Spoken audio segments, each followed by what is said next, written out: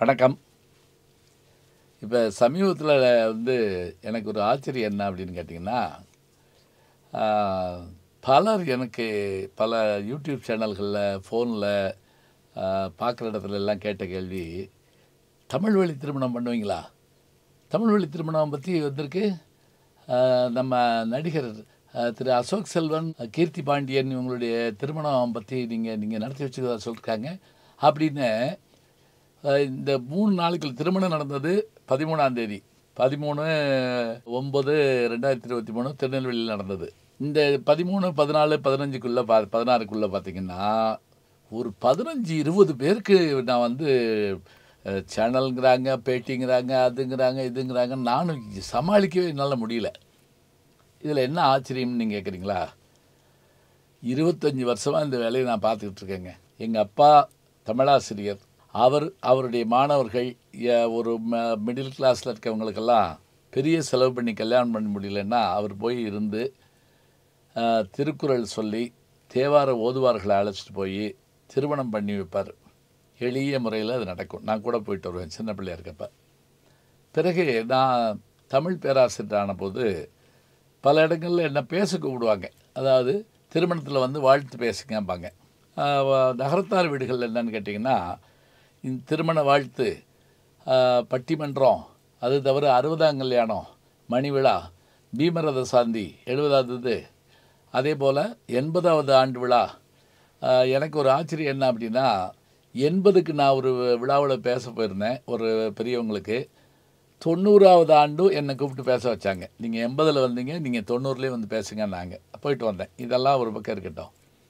நானே திருமணங்கள் நடத்தி வைக்கிறது அப்படின்னு வர்றப்ப நான் இதை முழு நேர வேலையாக செய்யறதில்ல.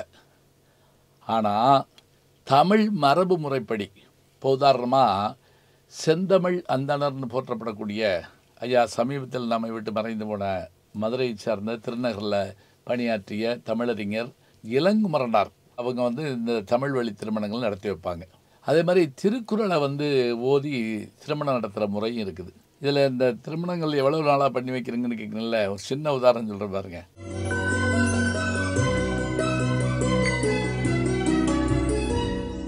என்னுடைய பழைய மாணவர் வந்து என்கிட்ட என் மகன் திருமணத்துக்கு வரணும் அப்படின்னாரு. அன்னைக்கு நாள் எனக்கு இருக்குமான்னு தெரியலையே அப்படின்னு சொல்லிக்கிட்டு இருந்தேன்.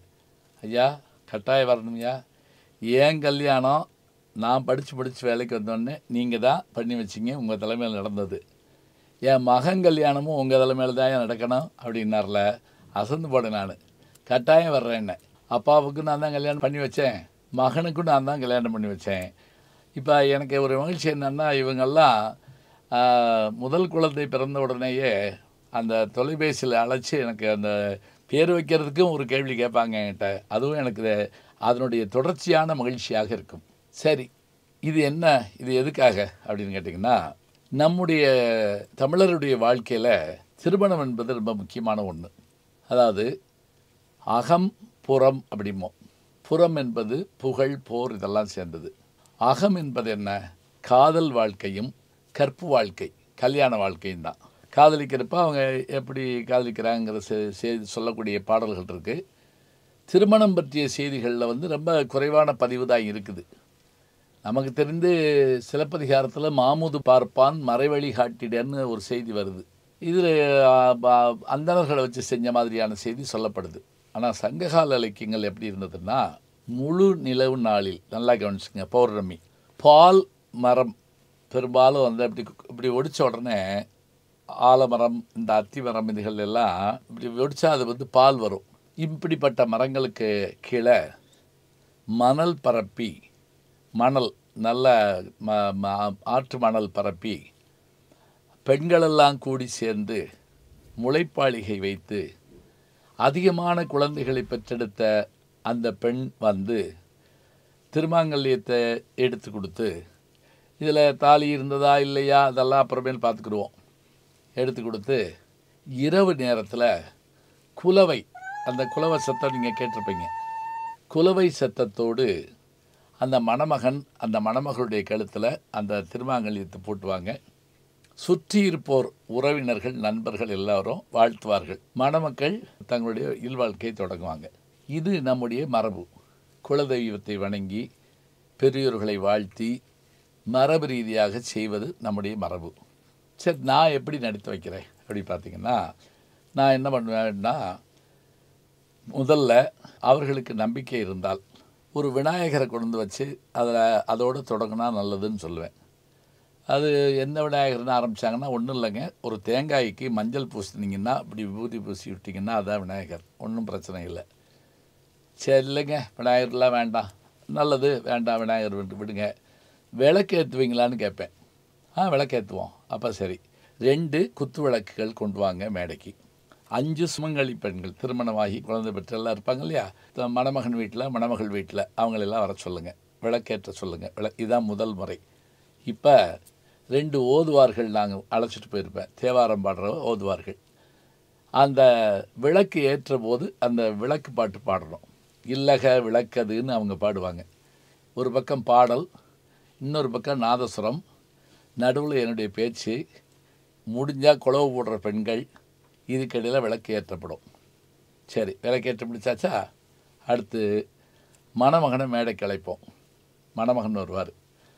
மணமகனுடைய தாய் மாமன் தாய் மாமன்னா யாருன்னு கேட்டால் மணமகனுடைய அம்மாவோடு பிறந்தவர் தான் தாய் மாமன்.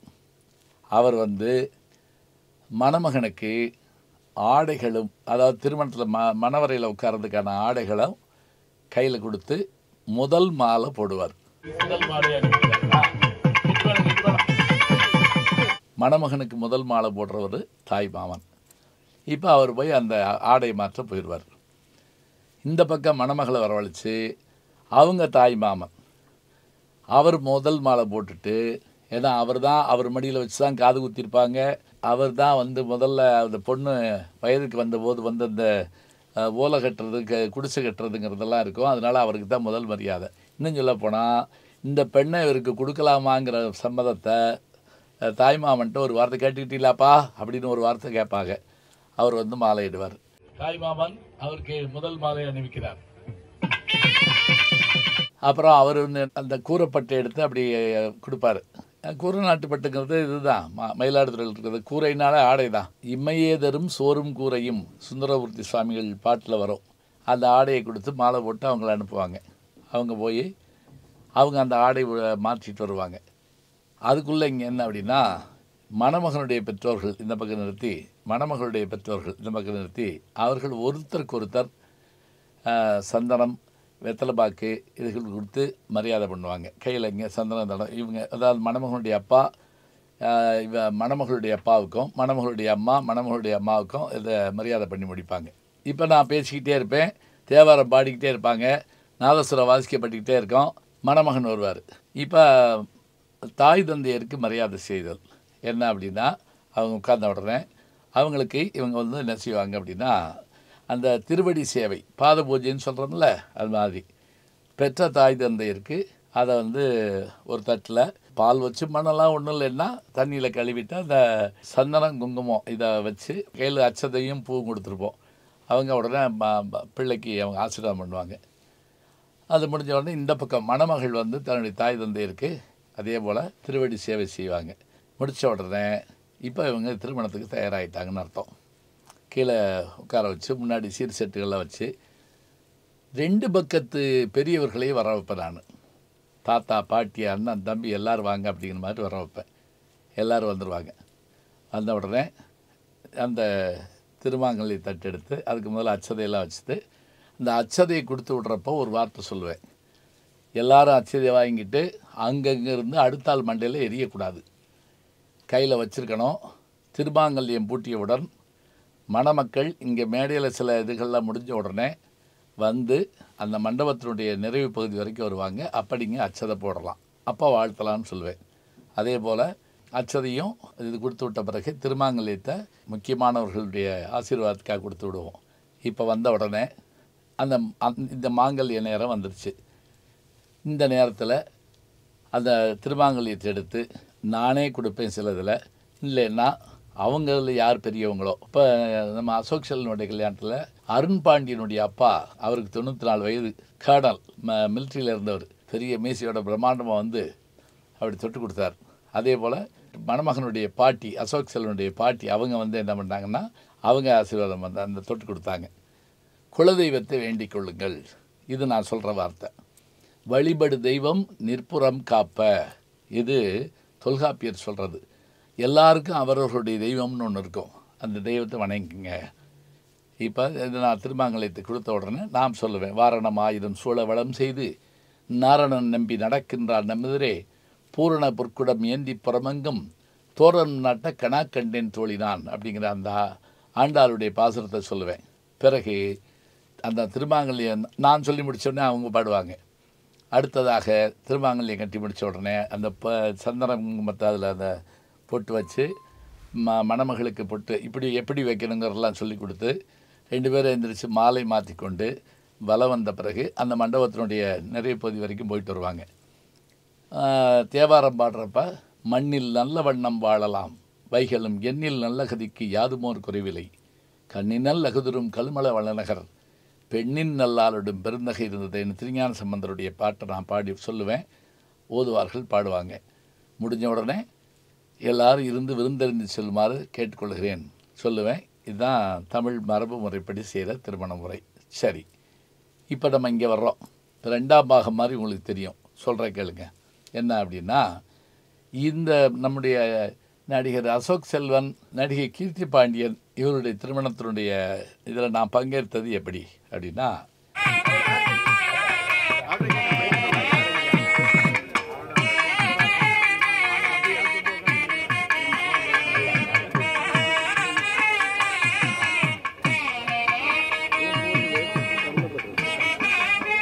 ஒரு மூணு மாதத்துக்கு முதல்ல எனக்கு தொலைபேசியில் மணமகன் அசோக் செல்வன் அவர்களுடைய தாயார் திருமதி மலர் செல்வன் அவர்கள் அவருடைய தந்தையார் வந்து டிஎஸ்பியாக இருக்காங்க. அவங்க எனக்கு தொலைபேசியில் தொடர்பு கொண்டு ஐயா அப்படி தமிழ் வழி திருமணம் நீங்கள் பண்ணி வைக்கிறத யூடியூப்பில் பார்த்தேன். எங்கள் வீட்டு திருமணத்தை பண்ணி வைக்கணும்னாங்க உடனே நீங்கள் யாருன்னு கேட்டால் நான் அசோக் செல்வன். ஐயோ நான் எனக்கு அவரை ரொம்ப பிடிக்குமா தெகடி படம் பார்த்துருக்கேன். போர் தொழிலில் அவரை இப்போ சமீபத்தில் பார்த்து ரொம்ப மகிழ்ந்தேன். அப்படின்னு சொன்னோடனே அவங்க தான் பொண்ணு வந்து அருண் பாண்டியனுடைய மகள்னே அவரையும் எனக்கு பிடிக்கும். அவர் பழைய படங்களில் ஒரு சிறப்பான ஹீரோவாக வந்திருக்காருன்னு சொல்லிட்டு இருக்கிறப்ப உங்களை இப்போ அவங்க ரெண்டு பேரும் பார்க்க வருவாங்கன்னு சொன்னாங்க. அதே போல் கீர்த்தி பாண்டியனும் அசோக் செல்வனும் எங்கள் வீட்டுக்கு வந்தாங்க மதுரைக்கு வந்தாங்க. வந்து அவங்களே எல்லா ஏற்பாட்டையும் பண்ணாங்க. என்னென்ன செய்யணுங்கிறத பட்டியல் போட்டாங்க. எனக்கு என்ன மகிழ்ச்சி அப்படின்னா அதை நான் சொல்ல சொல்ல சொல்ல சொல்ல குறிப்பெடுத்துக்கிட்டாங்க. என்ன செய்யணும்? மாலை எவ்வளோ வேணும்? இது எப்படி வேணும்? அப்படின்னு சொல்லிட்டு. எங்கள் வீட்டை சுற்றி காமிச்சேன். அசோக் செல்வன் வந்து என்னோட யூடியூப் சேனல் இந்த ஸ்டுடியோவை பார்த்துக்கிட்டு இருந்தார். அவங்க கீர்த்தி பாண்டியன் கீழே போய் எங்கள் பூஜை ரூம் காமிச்சேன். அப்போது ஒரு ஆச்சரியமான கேள்வி என்கிட்ட கேட்டாங்க. எங்கள் வீட்டில் ஒரு மணி இருக்குது அந்த பூஜை ரூமில். இது நீங்கள் பாலி தீவில் வாங்கினதான்னு என்கிட்ட கேட்டாங்க. எனக்கு ஆச்சரியம் தாங்க முடியல. எப்படி கண்டுபிடிச்சிக்கன்னு கேட்டேன். ஏன்னா நான் தான் சொல்லுவேன் வழக்கமாக இது பாலத்தீவில் வாங்கினதுன்னு. இதில் தாராதேவியினுடைய உருவம் இருக்குது. தாராதேவி சரஸ்வதி. பாலித்தீவுகளில் தாராதேவியை வணங்குவாங்க. சொன்னோடனே நான் ரொம்ப மகிழ்ச்சி அடைஞ்சு அதை அவங்களுடைய மாமியார்த்தையும் சொன்னேன் நான். அவ்வளோ அழகாக கேள்வி கேட்டாங்க அப்படின்னு சொல்லிட்டு. அப்புறம் எல்லாத்தையும் திட்டமிட்டுக்கிட்டாங்க. திட்டமிட்டபடியே நான் பன்னிரெண்டாம் தேதி இரவு அங்கே போயிட்டேன். அங்கே காலையில் அஞ்சரைக்கு ஆ ஆறு டு ஏழு பிரம்ம முகூர்த்தத்தில் திருமணம். செப்பறை கோயில் ஓதுவார் சுப்பிரமணியன் சங்கரங்கோயில் ஓதுவார் சுப்பிரமணியன். இவங்க ரெண்டு பேர் வந்தாங்க. நான் தான் அழைச்சிட்டு போனேன். ஒரு பத்து கிலோமீட்டருக்கு அப்பால் திருநெல்வேலியில் இருந்த இட்டேரிங்கிற ஒரு பகுதியில் ஒரு நூறு ஏக்கரில் அவங்க வந்து இயற்கை விவசாயம் பண்ணுறாங்க யார் அருண் பாண்டியன் அவங்களுடைய குடும்பத்தார்லாம். நாட்டு மாடுகள் கோழிகள் எல்லாம் அழகழகாக இருக்குது இதில் இவங்க இதுக்கு ஏற்பாடு பண்ணியிருந்த அழ அழகை பார்த்தீங்கன்னா நான் சொன்னேன் இந்த இந்த திருமணத்துக்கு நடுவில் இந்த அரசங்கொப்புக்கு காப்பு கட்டுதல்னு ஒன்று உண்டு. அது பழைய மரபு. மணமகன் வந்து அது எதுக்குன்னு கேட்டிங்கன்னா இந்த மரத்துக்கடியில் தான் கல்யாணம் பண்ணணுங்கிற தொடர்புக்காகவும் ராஜாவுக்கு நம்ம அந்த காலத்தில் அழைப்பு கொடுத்தா அவர் வர முடியலன்னா அவருடைய ஒரு ஆணைக்கோள் அனுப்பி விடுவார். அதற்கு மரியாதை பண்ணணும். அந்த மாதிரி ஒரு அரசங்கொப்பு வேணும்னு கேட்டேன். இங்கே அரச மரமே இருக்கு வாங்கன்ட்டாங்க. அதை போய் பார்த்தீங்கன்னா நான் பார்த்து வியந்தது. காலையில் அஞ்சு மணி அஞ்சரை மணிக்கு நான் போகிறேன் வட்ட வட்டமாக அந்த பொன்னியின் செல்வன் மாதிரி அந்த பந்தங்கள் எரிஞ்சிக்கிட்டு இருக்கு. பாதை முழுக்க மலர் செடிகள். நூற்றுக்கணக்கான சூரியகாந்தி செடிகளில் பூத்து அப்படி குலுங்குது. அதே போல் இயற்கை சூழலில் மணமேடை. சரியாக ஆறு மணிக்கு சூரியன் உதிக்கிற போது அந்த வெளிச்சம் அந்த மணமேடையில் விழுகுது. இப்போ பூக்கள் தூவி அவங்கள வரவேற்கிறோம். மணமக்கள் வர்றாங்க. அப்போ அவங்க ஒரு பாட்டு இவங்க ஒரு பாட்டெல்லாம் பாடி பிடிக்கிறாங்க. வந்த பிறகு நான் நான் சொன்ன மேற் சொன்ன எல்லா விஷயங்களும் செஞ்சுட்டே வர்றேன். வாங்க அந்த அரசு கொப்பு இருக்கான்னு கேட்டேன். இந்தா நம்ம இதுக்கு பின்னாடி பார்த்திங்களா? அரச மரமே வச்சுருக்கோம் அப்படின்னு சொல்லிட்டு அவர் அங்கே போய் காப்பு கட்டி அதுக்கு அந்த இது சந்தன குங்குமம் வச்சார். திருமணம் முடிச்ச பிறகு அந்த நான் சொ சொன்னபடியே தேவாரம் திருவாசகம்லாம் சொல்லி ஒரு சிறப்புரையாற்றி ம், திருக்குறள்லேருந்து எடுத்துக்காட்டு சொல்லி மிஞ்சி போடுகின்ற செயல்பாட்டை செஞ்சு முடித்து சிறப்புரையோடு வாழ்த்தி எல்லாரையும் பாராட்டிட்டு நான் அங்கேருந்து நல்ல இயற்கை உணவு உணவு பார்த்திங்கன்னா காலை உணவு அப்படியே அசத்திட்டாங்க. எல்லாமே மண் கிண்ணத்தில் தான். இளநி இளநீ பாயசம் தண்ணீர் பானக்கரம் எல்லாமே கொடுத்தாங்க. எல்லாம் சாப்பிட்டு சாப்பிட்டுட்டு அவங்கள எல்லாம் வாழ்த்திட்டு புறப்பட்டு வந்தேன். அருண் பாண்டியனுக்கு அத்தனை சந்தோஷம். இவ்வளோ ஒரு சிறப்பானதை நான் பார்த்ததே இல்லைங்கன்னு. மாலையில் திரும்பவும் எல்லாருமே என்னை தொலைபேசியில் அழைச்சி ரொம்ப சிறப்பாக இருந்தது. எங்களுக்கெல்லாம் பெரிய மகிழ்ச்சின்னு சொன்னாங்க.